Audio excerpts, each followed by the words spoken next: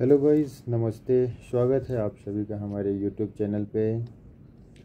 तो दोस्तों, जैसा कि जानते ही हैं आप लोग, मैं कोई भी एक नई नई जगहों पे जाता हूँ तो एक छोटी मोटी वीडियो बना करके अपने यूट्यूब से दिखाने की कोशिश करता हूँ आप सभी लोगों को।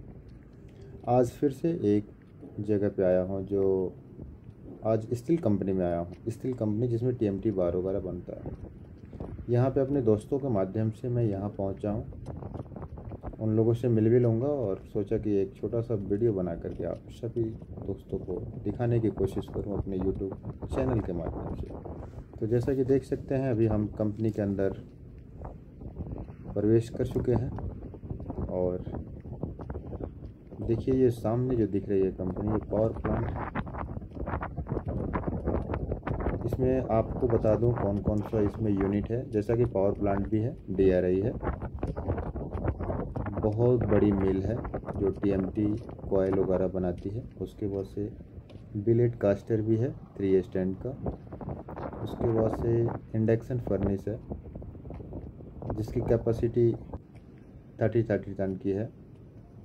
बहुत बड़ी कंपनी है। तो आप देखिए हमारे सामने। अभी मैंने, मैं अंदर की तरफ़,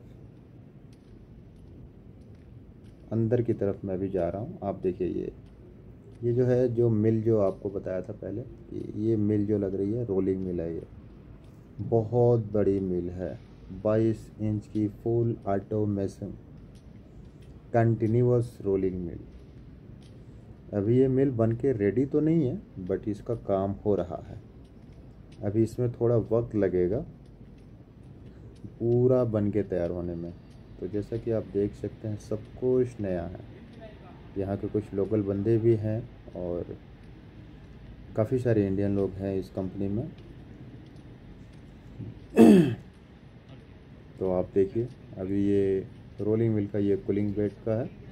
कूलिंग बेड के एरिया की तरफ़ से मैं अंदर की तरफ़ जा रहा हूँ। सामने आप देख सकते हैं वायर ड्रॉप कोलिंग मशीन है। ये लोकल बंदे सामने काम कर रहे हैं। फ़िलहाल अभी यहाँ का लंच टाइम हो रहा है, इसीलिए ज़्यादा वर्कर लोग इधर साइड पे दिखाई नहीं दे रहे हैं। क्योंकि सभी लोग अभी लंच के टाइम में खाने के लिए गया।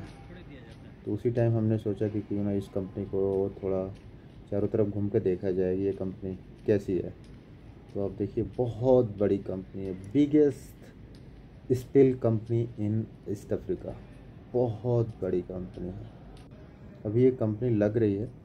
आने वाले समय में जब ये बन के तैयार हो जाएगी तो इसमें काफ़ी मज़दूर लोग काम करेंगे। लोकल बंदे भी या इंडियन के लोग भी। आप लोग भी प्रयास कर सकते हैं, जो लोग भी मिल से, मिल में काम करते हैं या मिल का नॉलेज है तो कांटेक्ट करने की कोशिश कर सकते हैं आप लोग भी, अगर इसमें जॉब चाहिए तो। अब आगे की तरफ़ बढ़ रहे हैं, आपको आगे का दृश्य भी दिखाने की कोशिश करेंगे, क्योंकि बहुत सारा काम हो चुका है ऑलमोस्ट कंप्लीट है। थोड़ा बहुत जो काम बचा हुआ है बंदे लगे हुए हैं, कुछ लोग काम पे लगे हुए हैं, कर रहे हैं धीरे धीरे लेकिन बहुत जल्दी ही मेरे हिसाब से जो लग रहा है कि ये कंपनी बहुत ही जल्दी चालू हो जाएगी। तो आप देखिए, ये सामने रेल रोलिंग मिल के अंदर मैं पूछा हूँ, जहाँ पे ये स्टैंड वगैरह फ्लाइंग शेयरिंग वगैरह ये सब कुछ सामने आप देख सकते हैं। सब कुछ नया है। बिल्कुल नई कंपनी है।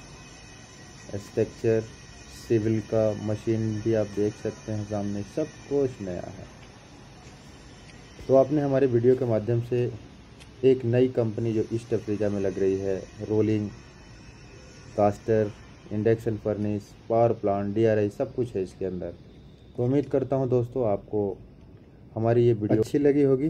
तो चैनल को सब्सक्राइब कर लीजिएगा, लाइक कर लीजिएगा, शेयर कर लीजिएगा। धन्यवाद।